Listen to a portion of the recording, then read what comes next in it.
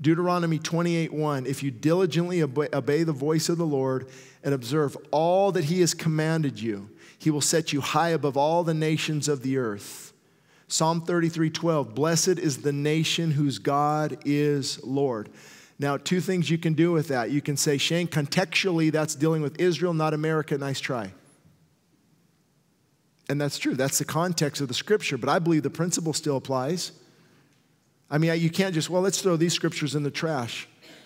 Because you have to go back to 1620, 1630, the, uh, the pilgrims, the Puritans coming over, signing the Mayflower Compact, saying that we rely on God, we trust in God, we want, we're, they're fleeing religious persecution in Holland, coming to our nation, and starting to plant these seeds of, of religious freedom. That's why they came, is to worship God freely.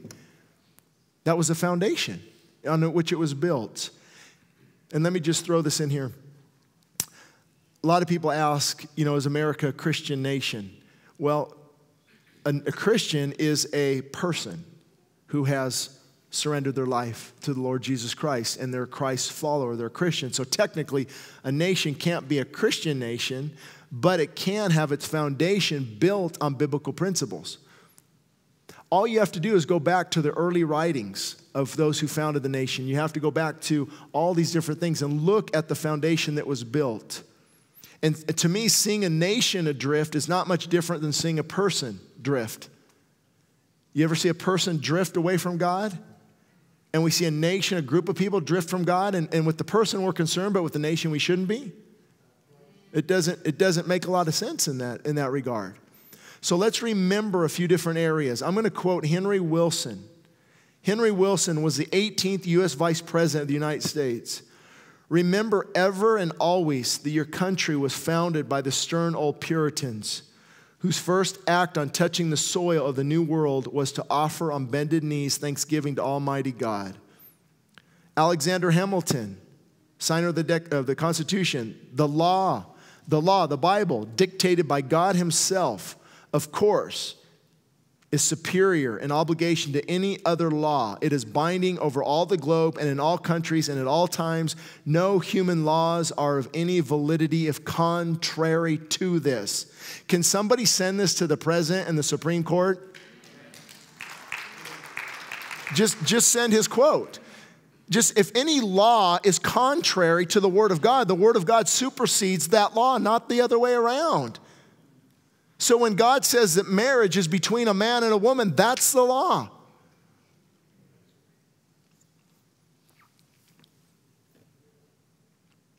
And if a sparrow cannot fall to the ground without his notice, is it probable that an empire can rise without his aid?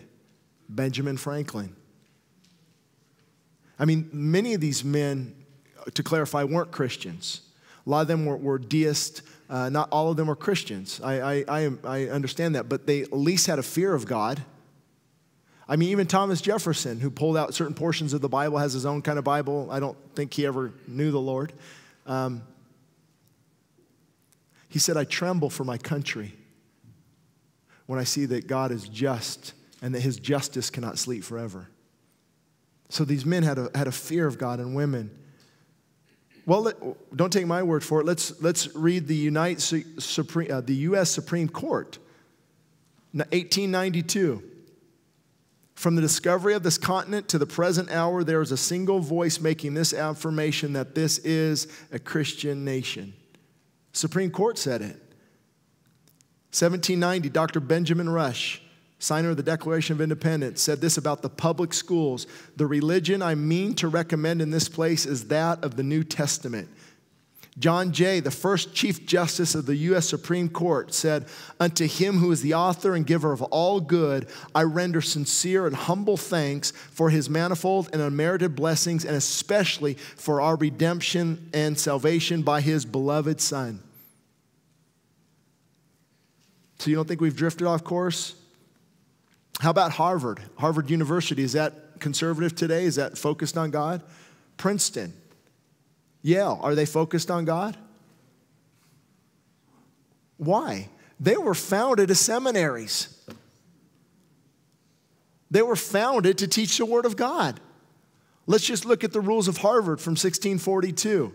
Let every student be plainly instructed and earnestly pressed to consider well the main end of his life and studies is to know God and Jesus Christ, which is eternal life, and therefore lay Christ at the bottom as the only foundation of all sound knowledge and learning. That's your rules, Harvard. That's what you're built upon. So you can't come out and say, no, none of that's true. Stop watching, stop watching all these things about the Illuminati and, and, and Mason, Masons and all these things. The truth is, men and women built the nation on the Word of God. Newsweek magazine, 1982, said how the Bible made America. Historians are discovering that the Bible, perhaps even more than the Constitution, is our founding document. Now, why can they say that? Because the founding fathers building the nation would reference the Bible four times more than any other source. They would reference it, making law, making jurisdiction, all these things, they would reference it.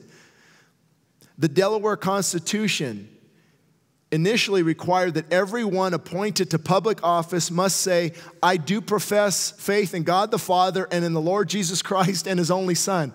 Can you imagine that? If you, if you want to run for office, you had to say, I believe in God the Father, the Holy Spirit, and his Son to even run for office. Now, if you say that, it's the opposite. Oh, you can't run for office. You're too, you're too conservative. You've got to find the middle ground there. You're too out there. I mean, in my opinion, we lost the ability to have a true Christian president many years ago. It's not going to happen. Because now they're looked at as, as, as lunatics and weird and out there, even though everything before that was built on that. God forbid you say, I'm going to seek the heart of God before I make legislation and pray. Oh, can you believe what this guy said? Unbelievable. That's what the media, they would have a field day. What about Maryland, New Jersey, Virginia, Connecticut? They all said the same thing. You have to trust in God. But on this issue, we can't throw out the baby with the bathwater because initially things like slavery does come up, and it's a, it's, a, it's a terrible mark on a nation's history. But I like what the president of Congress, Henry Laurens, said. He said, I abhorred slavery. I was born in a country where slavery had been established by British kings and parliaments as well as by the laws of a country ages before my existence. Benjamin Franklin, in a letter in 1773, said whenever the Americans had attempted to end slavery, the British government had indeed thwarted those attempts. And I've got pages and pages and pages of quotes because see, here's what people say see, America's bad. They weren't Christians, they all had slaves. No, no, no. Do you know who worked against to free slaves? worked for 30 years. A man by the name of William Wilberforce happened to be a friend of John Newton who just happened to write that song we just sang Amazing Grace, my chains are gone. These are the men and women who came before us, who set the course, who planted the seeds. They planted the seeds of the fruit that we're now consuming. So Christians made a difference. Christians went out and ministered to the Native Americans. They didn't just take their land. That was a wicked and evil government. Christians went and ministered to these Indians. You ever heard the word David Brainerd or the man David Brainerd? Read his journals. You'll be, if you're anything like me, I was so convicted. How do people live like this? Fasting for a week and prayer and supplication. My body's dying, but my spirit's strong. I'm like, wow, he prayed so much that even the great Jonathan Edwards was convicted about his own prayer life. And these people went and they prayed. They went to these, these people. So, what we do is we throw the baby out with the bathwater. Now, look what we did to the American Indians. Look at what we did to slavery. Don't throw the baby out with the bathwater. That is not true for the majority of true followers of Christ. That would, that would be like saying, look at America uh, killing all those babies, throwing us into that same group. How would you like that? Now that we've accepted the, the, all the, the gay marriage and all these different things, I want to be careful because I minister to those who struggle with this lifestyle. We love those who struggle with this lifestyle. And I tell them, you struggle with that, I struggle with this, they struggle with it. We're all in the same boat, but you better jump into the Savior boat. We're all sinners. We're all, uh, uh, now we're called saints, thank God. Better clarify because I'll get somebody else mad at that. But we've all sinned and fallen short of the glory of God. We're not isolating one sin over the next. We're saying, we're showing how far we've drifted. And now it's out in the news. Muslims think that the U.S. the United States of America has gone completely insane over the lesbian, gay, bisexual, transgender issues that we are now accepting. And I want to say, don't throw the baby out with the bathwater. See, that doesn't include me and millions of other people. You see how we do that? That's the same thing that has happened to our nation. We try to make it out to be something it's not, in this evil empire that needs to be dethroned and defunded. And where we really got off course was a long time ago that the whole point of the nation, the whole point of a government, the point of it is, we're not doing it now, is to protect those who obey the law from those who protect it. They're supposed to administer justice, they're supposed to handle those things, and the states were sovereign. And the church would be left up to being the conscience of the people. The government was never supposed to step in and influence the church. Well, separation of church and state, Shane, well, that's a bunch of baloney. Separation of church and state is not in the Constitution. It's not anywhere that you'll find it other than in a private letter that Thomas Jefferson wrote to the Danbury Baptists in Connecticut. They were worried that Episcopalian, uh, Anglican, or some other group would come in and have a national denomination. So he said, Don't worry, there will be a wall of separation of church and state, so that cannot happen. The churches will be able to worship freely. How do we know? For 150 years, the church worshiped freely without any government intervention. And then now they use this famous clause no, now church be quiet, separation of church and state. No, actually, it was the church. I could bring in a pile this high of pastors who used to preach on candidates, who used to preach on issues and tell the people, here's what the Word of God says, compare it to this person, compare it to this law, and go out and make your voice be heard. That's biblical. Who, where, where in the world do we get this mindset that we're just to lay down, be the, be, let all this stuff just, just permeate the culture and not say anything? Now, am I saying that politics is the answer? No. The number one problem in America is a spiritual problem called sin. But when we are ordaining things that God calls an abomination, when we are discarding life, when we are doing all these things, we're supposed to speak up. We're supposed to speak up and say, Church, remember, remember, go back to that nation, wake up and remember, remember. I mean, I, I don't know what it would cost, but I would pay whatever I could to let Joel Osteen air this type of sermon instead. Wake up, nation. Wake up, church. You need to return back to God. And I often read the prophets and my heart beats with them. Jeremiah, God actually told Jeremiah in chapter 2, He said, Jeremiah, go out and Cry to my people. Cry to my people. Tell them when you're a little infant, I nursed you, I held you, I gathered you, you're safe in my arms. I remember the faithfulness of your youth. I remember our engagement, how much you loved me. You sought after me in the wilderness as a child looking for his father. Holiness. Israel was holiness unto the Lord. Enemies would come against you and I would slaughter them. And then God says, what, I, I, But I have this question why have your forefathers forsaken me? Why are they following things that do not profit? Two evils I have against this people. They have forsaken the God, the fountain of living water, and they have hewn out for themselves cisterns that hold no water. Modern application means they're finding, trying to find fulfillment everything but me. And it gets so silly that the people say, To the trees, you are my mother, and to the stones, you gave birth to me. Oh, how could they? You know, we don't say that to trees. We park our things in the garage. Our idols aren't on the shelf. It's a 55 uh, inch entertainment center in your house. We have idolatry, folks, just the same that they did back then. And God's remedy is always the same cry out and return. Return. He, he would, Jeremiah, go to my people and tell them, I loved you. I brought you out of Egypt. I walked you through a barren desert where people die million people, a couple million people walked you through this desert. I held your hand, I was with you. So, why, when you walk into the promised land, did your fathers forsake me and turn to these abominations? Why? Jeremiah, tell the people. In other words, he's saying, I don't want my wrath to fall. I want to relent. Jeremiah, I want to relent. Would you please tell the people to turn back to me so my anger will be subsided? Please, Jeremiah, cry out to them. That's the heart of God. So next time you think God is just a mean, angry God, he's not. He's knocking, he's warning, he's convicting, he's drawing. But at some point, when a nation or a group of people continues to turn from God, the hammer of God will fall and there will will be judgment.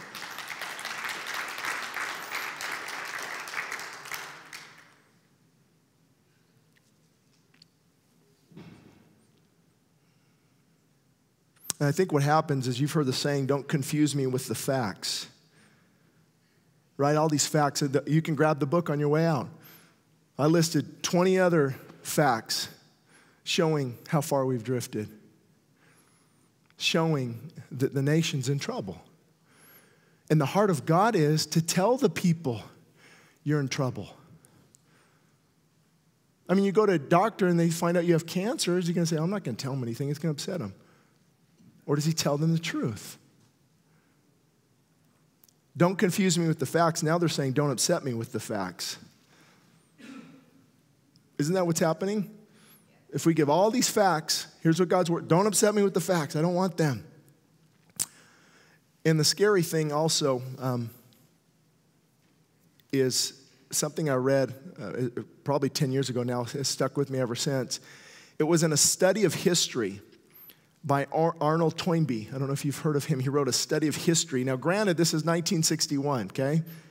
He said of the 22 civilizations in all of history, there's only been 22 civilizations since the world, since we can record and go back. Of the 22 civilizations in history, 19 of them have collapsed when they reached the moral condition that America is in today. I mean, if you go back and you read Rome, the great empire, right before its fall, you know what was happening? High taxation and the need for pleasure and entertainment were at the top of the list and to devalue the military strength. And we're seeing the same things. You think, that, you think I want to come up here and talk about this? No. But God's word, I believe, compels us to share the heart of God. Because it's almost like seeing a, um, watching a prodigal son destroy his life.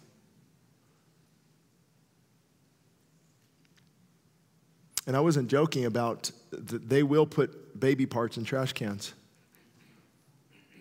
That's what happens. And we have legislators that want to pass laws where you can go in and begin to remove the limbs of the child until the child is gone from the womb. If that doesn't sicken you and cause you to want to pray and fast, I don't know what will because that's beyond comprehensible. In my opinion, that's beyond, beyond comprehensible. And we continue to do this daily. I don't even know the number, something like 4,000 abortions a day. How many just happened during my message? And I know it's going to upset people. They'll email me, and I, I don't care anymore because that child didn't deserve it. What's that child going to tell me? If that little baby could talk. It's actually silent screams. If you could, if it, that's what they would say, stop. Stop, man.